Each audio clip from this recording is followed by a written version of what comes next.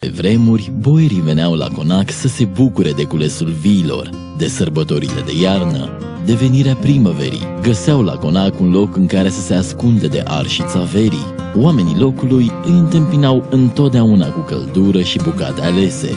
Boierii s-au prăpădit odată cu vremea. Conacul este tot acolo. Vino la câmpul un mușcel și poposește la pensiunea un băiat și o fată. Vei fi întâmpinat cu căldură, vei gusta cele mai alese mâncăruri și vei simți confortul conacelor boierești de altă dată. Pensiunea un băiat și o fată, un loc pentru cei dragi.